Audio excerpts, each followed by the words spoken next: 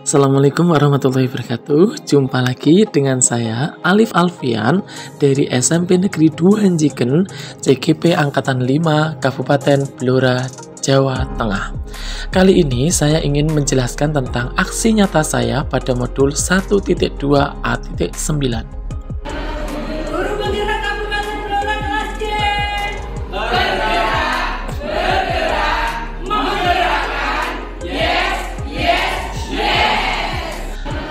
Kenali siapa saya. Rencana ke depan saya untuk menguatkan nilai dan peran guru penggerak.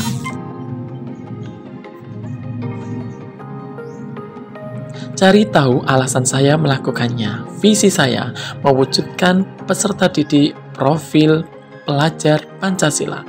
Nilai inti saya, mandiri, reflektif, kolaboratif, inovatif, dan berpihak pada murid. Cara kerja saya, menjadi pemimpin pembelajaran, menggerakkan komunitas praktisi, menjadi coach bagi guru lain, mendorong kolaborasi, dan mendorong kepemimpinan murid.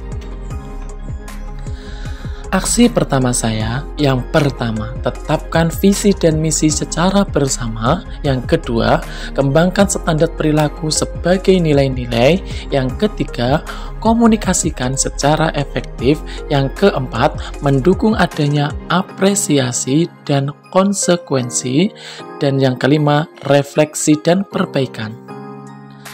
Merumuskan profil pelajar Pancasila yang pertama, pendamping, pengajar praktik dan kepala sekolah. Yang kedua, membentuk tim pengembang kurikulum bersama waka kurikulum sekolah.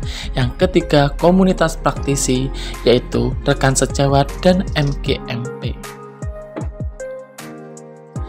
Kolaborasi saya berperan bersama dalam implementasi kurikulum merdeka, berperan bersama pada komunitas guru dalam IHT penyusunan KTSP, bersama Mapel Serumpun menyusun perangkat pembelajaran dan program pengembangan minat dan bakat peserta didik.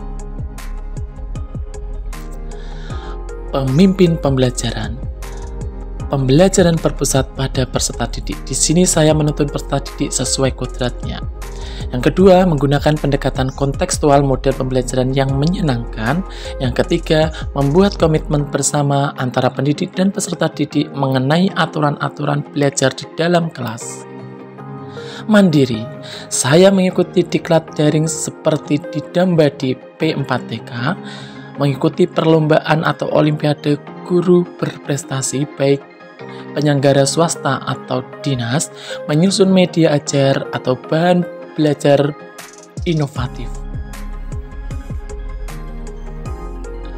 Menggerakkan komunitas praktisi. Di sini saya terlibat dalam pembuatan buku ajar peserta didik pada MGMP terlibat dalam penyusunan soal baik PTS maupun PAS di MGMP.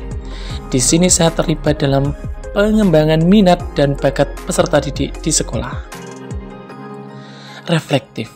Di sini saya refleksi program kegiatan yang saya lakukan untuk meningkatkan kegiatan evaluasi yang berlanjut dan berjenjang agar diperoleh hasil ke depannya lebih baik lagi.